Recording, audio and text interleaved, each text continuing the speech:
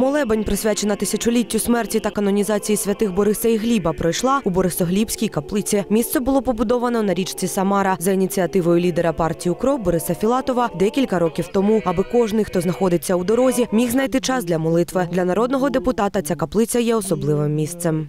Сегодня тысячу лет со дня представления святых благоверных князей Бориса и Глеба.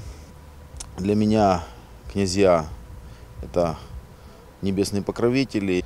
Очень хороший сегодня день, светлый. Такие, знаете, чувства меня переполняют. Приехали отцы, среди них очень много моих друзей, близких друзей.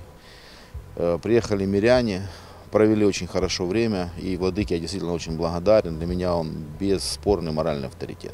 Молебень провів митрополит Дніпропетровський і Павлоградський Іриней. Дійство тривало декілька годин. Серед причасників було багато дітей. Іриней зазначив, що проводити молебень у Борисоглібській каплиці це неймовірно приємно, адже це місце поєднує з природою і дає волю душі. Ми молились за мир, за спокій.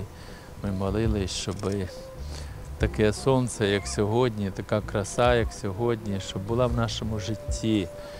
От. І, звичайно, це багато залежить від нас, як ми будемо трудитися, молитися, тому що Господь керує нашим життям. Він його направляє, якщо ми з ним в контакті, якщо ми від нього не е, відходимо.